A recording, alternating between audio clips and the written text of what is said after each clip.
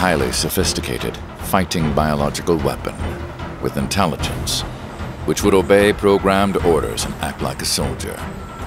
That was the monster we tried to create. And we called it the Tyrant.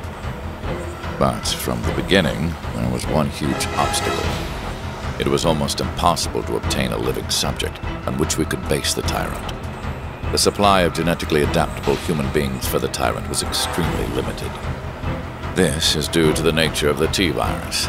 The T-Virus variant that was ideal to create the zombies and the hunters was suitable for most humans, but it had a fault of making the carrier's brain cells decline. To transform the carrier into a tyrant, we needed to keep the carrier's intelligence at a certain level. In order to overcome this issue, Birkin had been working on extracting a variant that would cause the least damage to the brain when it was adapted perfectly to the carrier. However, humans with a genetic match to this variant were extremely rare.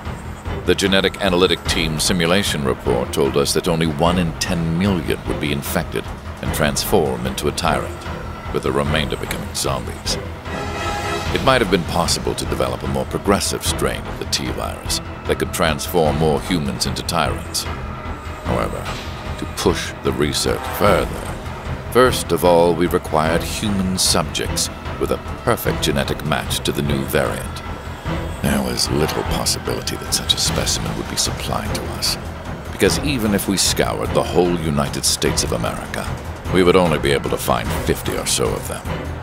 In fact, at that time, even with the most utmost effort, we only managed to collect a few specimens with a close match. Even from the outset, our research was at a standstill.